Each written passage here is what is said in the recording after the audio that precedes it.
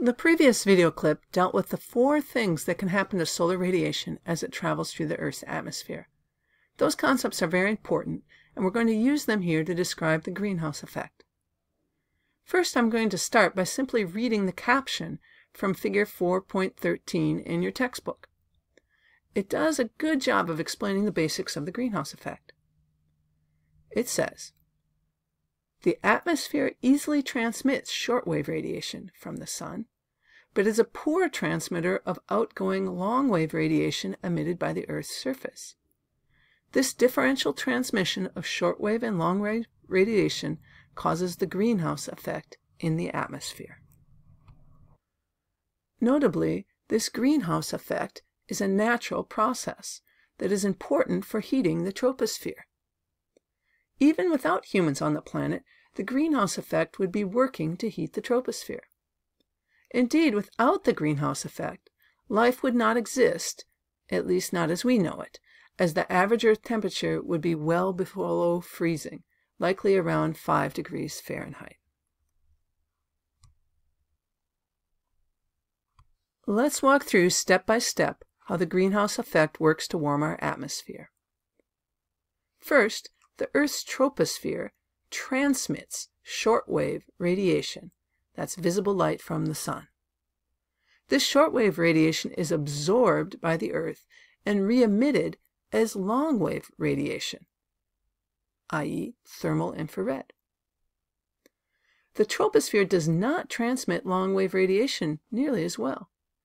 In fact, there are several greenhouse gases, water vapor, carbon dioxide, methane, and nitrous oxide in the troposphere that are very good at absorbing and re-emitting long-wave radiation.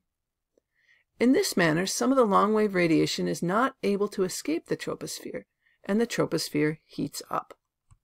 You should be able to talk your way through this process and also identify major greenhouse you should be able to talk your way through this process and also list the major greenhouse gases, and give sources for each.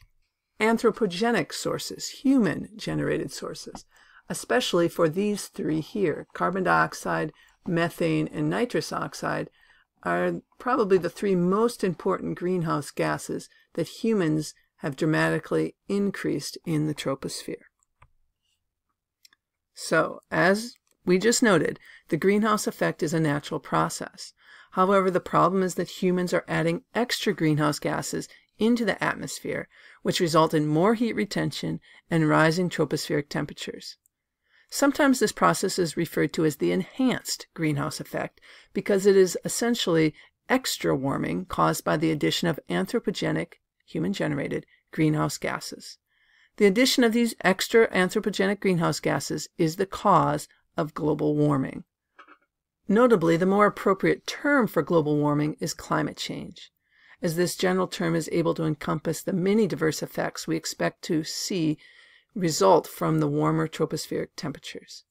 For example, some regions, Europe notably, will actually get cooler.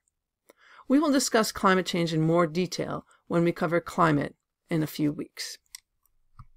Lastly, and very importantly, don't mix up ozone depletion that we covered in chapter 3 and climate change, which we're introducing now. They are very different phenomena and they're not related in the way that many people think. Also, ozone depletion is a stratospheric phenomena, whereas climate change is a tropospheric phenomena. Importantly, ozone depletion does not cause global warming or climate change. This is important. You should say this aloud to yourself. Ozone depletion does not cause climate change. Many students incorrectly assume that additional ultraviolet radiation that gets through because of ozone depletion is what causes the troposphere to warm. This is not true. The additional ultraviolet radiation can harm us. For example, we can get skin cancer, cataracts, etc., and it can harm photosynthetic organisms. But this small addition of UV radiation does not impact global temperatures.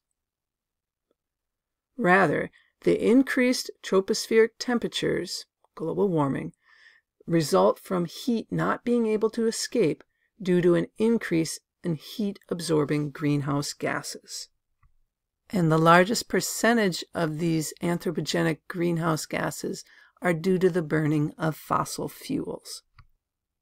Thus, global warming, also known as climate change, is caused by the anthropogenic greenhouse gases, the human generated greenhouse gases that are being emitted into the atmosphere, primarily due to our burning of fossil fuels.